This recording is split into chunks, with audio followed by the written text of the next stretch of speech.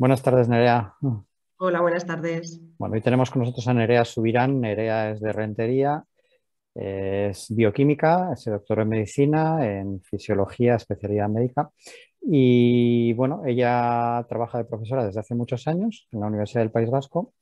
Y dentro de ese, de esa, de ese trabajo, de ese profesorado, de esa investigación, pues ha surgido un proyecto que la ha convertido en emprendedora. ¿Qué es lo que habéis hecho, Nerea? Mm. Pues mira, nosotros eh, ya llevábamos muchos años trabajando en el ámbito de la reproducción y de la medicina reproductiva y, estábamos investigando en, ese sentido. Eh, además, más concretamente, sobre todo en, entender cómo funcionan los espermatozoides. ¿vale? Utilizábamos siempre espermatozoides humanos, entonces eso nos dio la oportunidad de estar en contacto con eh, clínicas de reproducción asistida y de ver qué necesidades tenían estas clínicas. Así que, eh, bueno, pues eh, seguimos investigando y seguimos colaborando con ellos y entonces a través de nuestras investigaciones pudimos determinar o, encontramos, describimos y desarrollamos un nuevo método de selección de espermatozoides que mejoraban las tasas de embarazo de estas parejas durante los tratamientos de reproducción asistida. Así que, bueno, en ese sentido, pues vimos que lo que habíamos encontrado tenía potencialidad y decidimos patentarlo y una vez obtenida la patente, pues la forma más eh, eficaz eh, de poder llevarla al mercado, pues pensábamos que era el emprender y montar una empresa que se encargara un poco de, ese camino hacia, hacia realmente eh, la utilización de este sistema por parte de los pacientes. O sea, que se trata de un spin-off de la universidad. Sí, bueno, es una startup, no es una definición exacta de spin-off, pero sí, lo que es la eh, base tecnológica que genera la empresa eh, procede de un descubrimiento que, se, hicimos nosotros mismos en, la, universidad. Vale, entonces la universidad no es accionista del proyecto, somos vosotros, a título individual. Por eso, por eso no es exactamente un spin-off. Vale, pero la patente sí que es de la universidad, entiendo. La patente es de la universidad, licenciada a la empresa.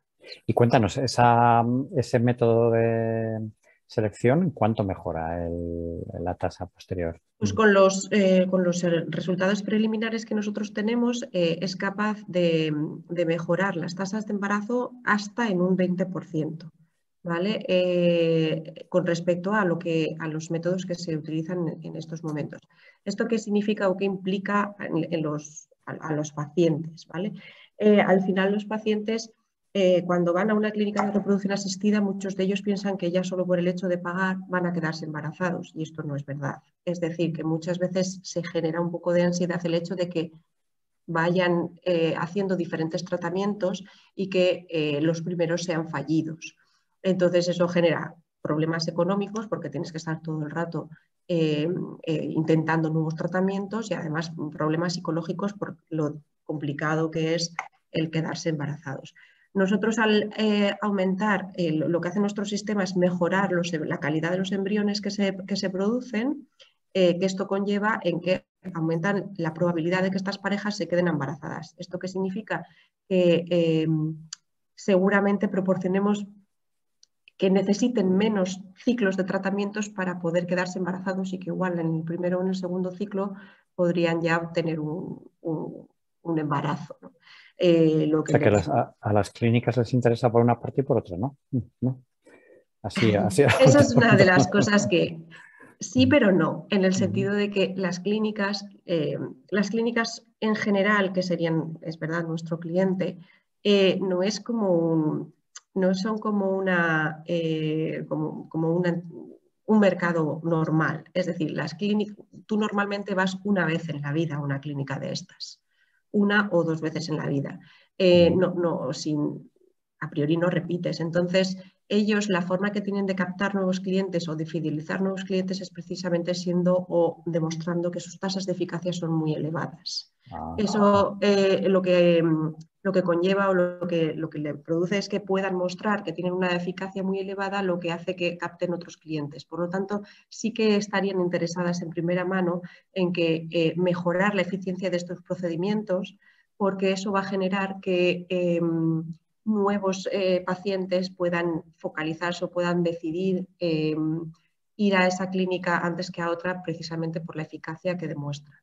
¿vale? Entonces, se me ocurre que se me ocurre, esto, esto, esto alguien lo verifica, que esas tasas que ellos demuestran son reales. Porque aquí hay, no sé. los, datos de las clínicas, las clínicas publican sus datos y pueden hacerse públicas. De hecho, hay un registro oficial en España que lo, que lo, que lo proporciona la, la, Sociedad Española de Fertilidad. Hay registros oficiales de, de, los datos de la reproducción existida en España y del, y del número de embarazos, número de tasas, etcétera, etcétera. Pero eh, es verdad y están, están publicadas, ¿no? Pero sí que es verdad que los datos que tú muestras pueden ser veraces, pero también los puedes presentar de una manera que benefician con respecto a otra y simplemente tienen el mismo dato, lo que pasa que lo han presentado de una manera diferente. ¿vale? Entonces puede beneficiar o puede no beneficiarnos. Eh, pero bueno, en general todas las clínicas tienen tasas bastante similares. ¿eh? Siempre hay algunas que dicen que tienen más, pero, pero esos datos se pueden verificar en, las, en, la, Sociedad Española de Fertilidad. que el día que vosotros, vosotros estéis en el mercado, en la clínica que utilice vuestro sistema va a destacar por encima de las demás, claro. Podría, sí. Lo que pasa es que ya te digo que depende de lo que maquillen los datos. Las otras, digo. Porque además lo que nosotros ofrecemos, claro, esto es una diferencia muy sustancial de, con respecto a estos datos. ¿Vale? Entonces, mm, bueno, yo no sé si esto, eh, no sé exactamente em, el público al que va a ir dirigido esta entrevista, entonces no sé hasta qué punto. emprendedores, sí. Mm. Digo, porque igual hay. Entonces, eh, unas de las cosas que nosotros hacemos es que muchas veces la mayoría de los, de los datos o de la mejora de datos que proporcionan estas clínicas es en base a disminuir el número de fallos. Es decir, si yo disminuyo el número de fallos, la tasa de eficiencia la tengo, es mayor. ¿Qué quiere decir esto? Por ejemplo, que si tú crees que una pareja va a fallar, por ejemplo, cancelas una transferencia, porque eso no entra en tu dato. ¿vale? Pero eso no significa que le aumente las probabilidades de embarazo de la, pareja, de, embarazo de la pareja. Nuestro sistema, sin embargo, no es así, porque nuestro sistema lo que hace es mejorar el embrión. Entonces, como tienes una mejora de embrión, tus probabilidades reales aumentan. ¿Vale? A diferencia de las otras que lo que hacen es disminuir el número de fallos. Y entonces, claro, cuando tú haces el dato, el ratio te sale mejor. Está claro, está claro que hay un riesgo de, maquillaje, está claro. Mm. Pues ahora entendéis lo de los datos. Sí, sí, Ya, me, olía, a mí que algo podía pasar, sí. No, en, nuestro caso lo que nosotros proporcionamos es que realmente los embriones, o sea, le podríamos proporcionar a la pareja que eh, aumenten el número de embriones viables. Cuanto más embriones viables tienen, más probabilidades tienen, más opciones. No quiere decir que no vayan a fallar alguno, pero aumentan sus opciones en el mismo ciclo. Vale. Y esto lo descubristeis en, un trabajo con una clínica de estas, porque me has dicho que trabajabais con varias y tal, y que en, una de, en un trabajo descubristeis esta, este, este, invento, ¿no? Vamos a llamarlo, perdón, permíteme que utilice la palabra invento. Eh, esa clínica no tiene ningún derecho especial sobre esa, sobre esa metodología, ¿verdad? En, estos momentos no. No, no porque eh, al final nosotros en, em, eh, en la clínica nos hizo ese servicio, pero en realidad la invención es nuestra.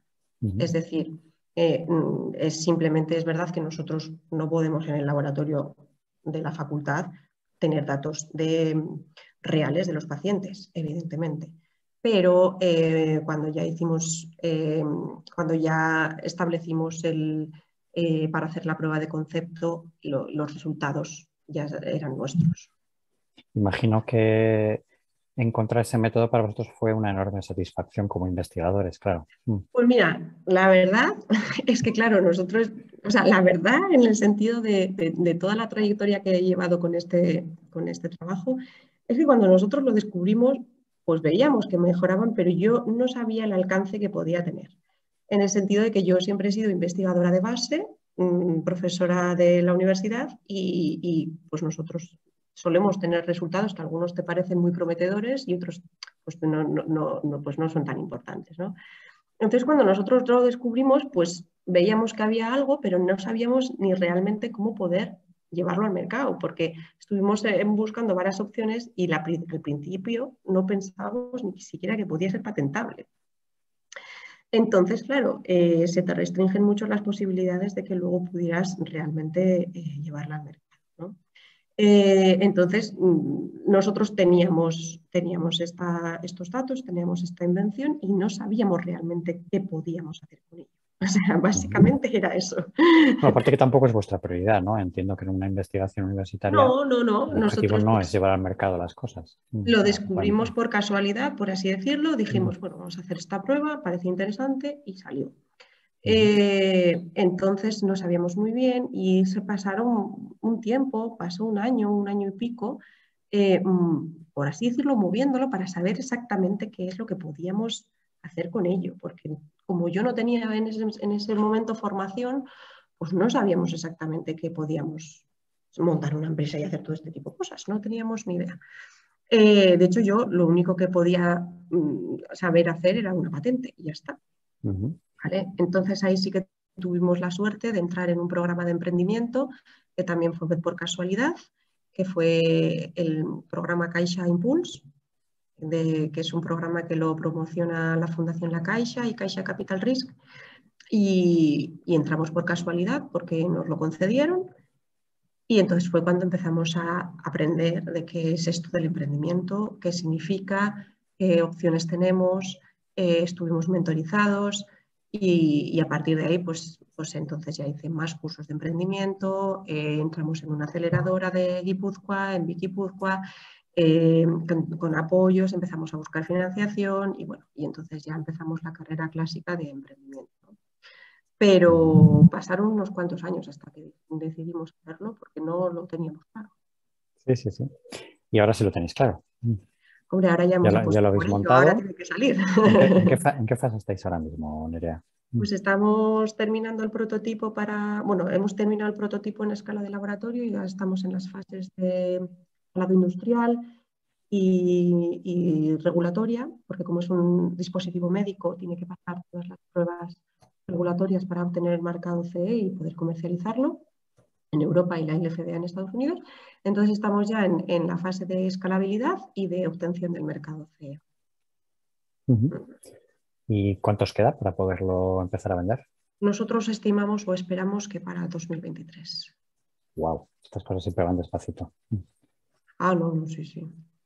¿Y ahora qué estructura tenéis? Porque esto, es, esto que estás contando es fundamentalmente, eh, entiendo que es trabajo que subcontratáis, porque un tema regulatorio no vais a contratar gente para hacerlo para que luego no... O, cómo lo estáis gestionando. Nosotros en la startup tenemos investigadores. De... ya, tienen, ya tenéis investigadores contratados en la startup. Sí, sí, sí, sí. tenemos investigadores contratados. Sobre todo lo que hacemos es I D eh, como es una startup con vocación internacional, eh, de momento no tenemos una estructura comercial per se, sino que nuestra, nuestra estrategia o nuestro business plan, eh, nuestro business model implica llegar a acuerdos de comercialización con grandes, con big pharmas. Entonces, la base ahora mismo de la empresa es seguir desarrollando la I+D. ¿vale? Es donde vamos a tener nuestro valor añadido y donde tenemos esta, esta potencialidad. Eh, y, luego tenemos, es verdad que eh, subcontratamos o colaboramos o contratamos servicios externos eh, en una primera instancia para intentar llegar al mercado lo más rápidamente posible, en vez de generar toda una infraestructura en, en la empresa, pues cuando queremos considerar o consideramos necesario que podemos externalizarlo, pues a corto plazo lo externalizamos, porque evidentemente en estas fases hay que optimizar mucho la financiación y, ser lo más, eh, lo más eh, prácticos posibles. Pragmáticos, eso es. Entonces, eh, por ejemplo, parte de la regulatoria es verdad que la tenemos subcontratada porque tener una persona que sepa de regulatoria y que pueda generar todo esto, pues todavía no, no consideramos esencial Luego ya cuando estemos en mercado seguramente, evidentemente lo tendremos que hacer porque también está la fase de post-comercialización en la que la regulatoria tiene que seguir. Entonces, la idea un poco también es estar eh, a su vez formando a personas internas en estas, eh, en estas cuestiones mientras eh, subcontratamos la, o externalizamos parte del trabajo. Entonces, eso nos, nos permite aprender por el camino, por así decirlo, sin que, sin que consideremos un, freno en, el desarrollo. Entiendo. Eh, entonces, estáis en esa fase de desarrollo de producto todavía. Eh, ¿Os queda tiempo? ¿Cómo estáis financiando todo esto? Porque evidentemente hace falta dinero. Pues. ¿Habéis conseguido que Caixa Capital Risk entre o cómo.? No, no, bueno, Caixa no. En un principio es un programa eh, el programa de Caixa es un programa que sí que te dan algo de financiación, pero que no es a la empresa, ¿vale? Sino que es un programa que da la financiación a la universidad para hacer transferencia activa, universidad u organismo público. Es decir, cuando nosotros obtuvimos la financiación de la Caixa no teníamos la no teníamos la empresa, no, es una, no es un dinero a la empresa, sino que es un dinero eh, a los investigadores o los organismos públicos de investigación para que ellos hagan transferencia activa. ¿Vale? Eh, entonces, eh, bueno, nosotros ahora mismo, como todavía no, llevamos muchos años tampoco, la principal fuente de financiación nuestra son las subvenciones de I+.D. a estas empresas para este inicio de los desarrollos. Eh, hemos, hemos, ido obteniendo a lo largo de, estos años. También estamos financiándonos con préstamos convertibles, o sea, préstamos específicos para este tipo de, de, empresas y eh, la idea también es intentar con esta financiación llegar a un estado de madurez un poquito adelantado para poder hacer rondas de inversión. Préstamos públicos, entiendo, ¿no? Mm. ¿Cómo? Préstamos públicos, entiendo. De momento hemos ido a préstamos públicos, sí, a préstamos... en, esta, eh, fase no creo que haya eh, bancos dispuestos a prestar. No, mm. no el, préstamo clásico de toda la vida no encaja en, en las startups por lo menos en la, fase vuestra, desde luego, es difícil. En la fase nuestra, no. no. Salvo, que, que tengáis una mansión con la que avalarlo, es difícil, sí. No, porque, porque es verdad que siguen siendo proyectos de riesgo. Eso es, mm, eso es el leitmotiv de una startup de estas características. Y luego, tú, tú eh, que eres la promotora principal, ¿no, Nerea? Eh, bueno, también hemos tenido eh, financiación de unos inversores privados. Ah, sí, hay algún business angel, entiendo, ¿no? Sí. Mm. Ah, ¿y eso cómo lo habéis encontrado? Mm. A través de la aceleradora del BIC. Ah, mm. Pues, que pone en contacto a la gente. Vale, o sea que os ha conocido a través del BIC, BIC Guipúzcoa, ¿verdad? Sí, nosotros BIC. Y Nerea, eh, tú que sigues siendo profesora, ¿cómo compaginas todo esto? Eh, pregunta del millón. Eh, no, eh, es verdad que en un principio pues, lleva mucho trabajo y haciendo pues, un poco el pino puente. porque es verdad que nació, nació de la universidad y cada vez pues, hay que ir separándolo más porque una cosa es la universidad y otra cosa es la empresa.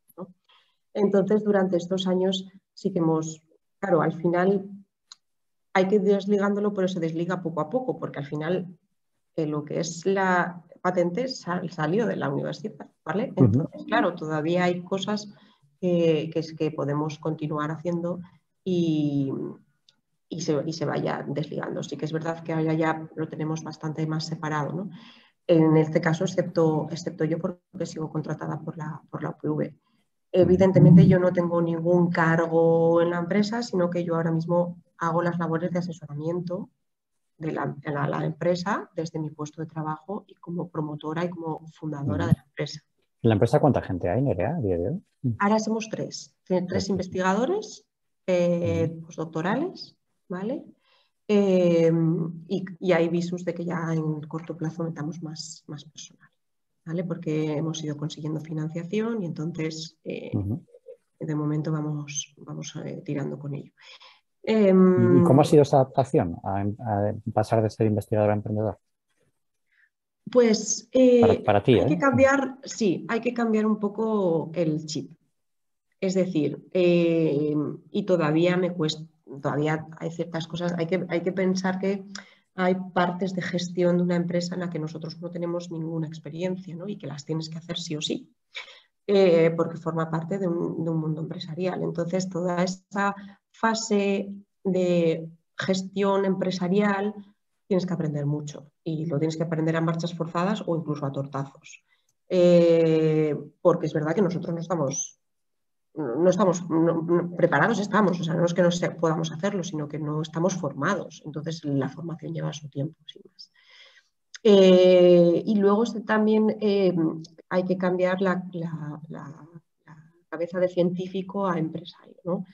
Eh, sí que es verdad que eso en los distintos programas de emprendimiento lo hemos ido aprendiendo, o yo, al menos yo, en el sentido de que es como hablar otro idioma, ¿no? intentar hablar otro idioma, o sea, tienes que contar lo mismo, pero de otra manera, porque tienes a otras personas. Entonces, esos tienen otros intereses y están esperando buscar otras palabras, ¿vale? O, otros, mm, no tanto unos elementos tan científicos o tan, eh, tan de científico loco, sino que más eh, de aplicabilidad o de usabilidad o, de otro tipo de, de esto vas aprendiendo, ¿no? Es verdad que ya llega un momento en que empiezas a entender ese lenguaje. No siempre, todo, es verdad que todo es esto, pero sí que empiezas a entender qué te, te están pidiendo, qué, es lo que Porque otra, otra, opción, otra opción en casos como el vuestro es eh, contratar a personas que ya son directamente, digamos, del sector privado y que, que llevan adelante el proyecto, ¿no? Con vuestro asesoramiento. Esa habría sido otra opción que, que, no es la que habéis seguido, entiendo, ¿verdad? Mm ya iremos viendo poco a poco, pero eh, sí que, o sea, lo que, lo que tú propones sería una cuestión de tener un gestor que lleva todo y ahí yo no he tenido todavía una experiencia, pero sí que he oído muchas casuísticas que pueden ser, que pueden ser, eh, que pueden ser excepciones, ¿vale? Pero, pero sí que es verdad que hay gente, primero, que tienes que fiarte mucho porque al final el gestor eh, tiene casi un control total de la empresa. Entonces, si tú te desvinculas por completo, puede generar un peligro cuando al final el fundador eres tú y, tú lo sabes.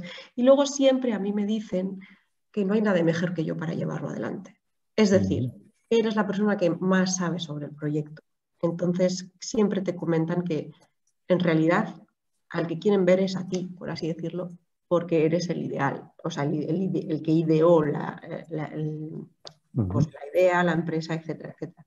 Entonces, sí que es verdad que de momento lo que te recomiendan es que tú sigas adelante, que si tú no estás también de cara a inversores, no lo ven bien. O sea, que el fundador no se encargue directamente o que esté asesorando un poco como más encima, pues no, no lo ven bien. Eh, entonces, pues bueno, llegará un momento en que es verdad que tendré que decidir sobre eh, una de las dos, pero bueno, eso todavía la empresa yo creo que tiene que tener una, madurez un poco mayor, el proyecto tiene que ir un poquito más adelante para que, eh, para que eso sea necesario. derivarlo todo a un gestor, yo personalmente, esta es mi opinión, a corto plazo no tengo ningún interés, precisamente porque necesito todavía seguir teniendo el control de, o me gustaría tener ese control de qué es lo que está pasando en cada momento.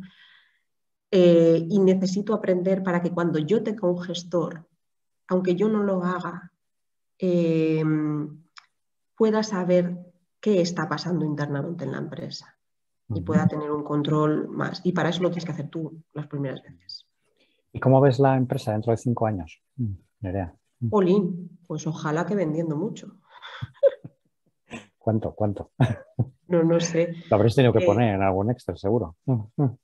Sí, nosotros hoy, en día te, piden que hagas ahí una, te piden que hagas ahí una proyección a, a, medio plazo, que ya sé que se hace un poco así, poniendo dedo para arriba, pero bueno, algo, habréis tenido que poner.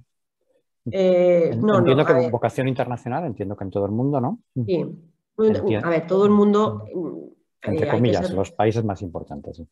Eso es, o sea, todo el mundo, sí, sí, si además esto es un foro para emprendedores, pues todo el mundo ya sabemos que es inabarcable, o sea, esto, pero no desde un punto de vista logístico que puede llegar a serlo, sino desde un punto de vista estratégico, o sea, que igual dices, venga, todo el mundo, todo el mundo, pues bueno, a nosotros no, principalmente nos interesan Estados Unidos, Europa, eh, porque es realmente donde la gente paga por reproducción asistida.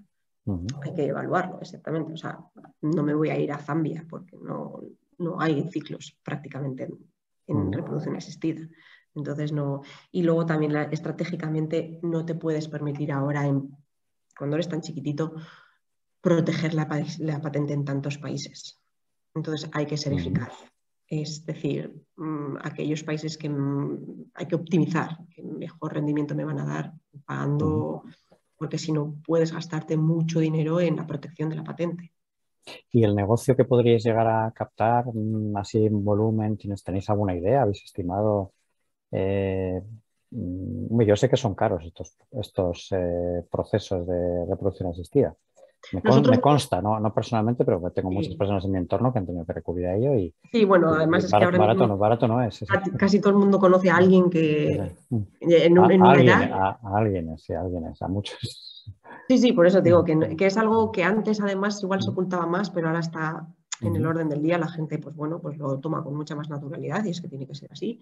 Y eh, nosotros, evidentemente, no entramos en todo el procedimiento. Además, los tratamientos son, son complejos, tienen muchos pasos. Nosotros entraríamos sobre todo en la parte de selección de los espermatozoides, que es una parte.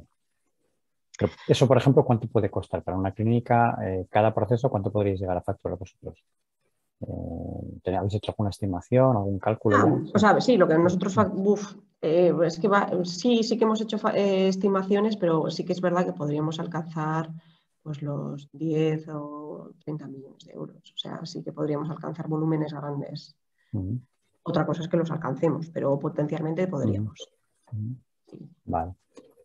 Y vale, pues eh, yo creo que hemos hablado un poquito de todo, de la parte un poco de negocio, que todavía evidentemente no está desarrollado porque estáis todavía terminando el producto y es un proceso además largo. Como bien me has dicho, los dispositivos médicos tienen que ser homologados y esas homologaciones, al ser, pues, eh, digamos, un proceso burocratizado, eh, no es rápido.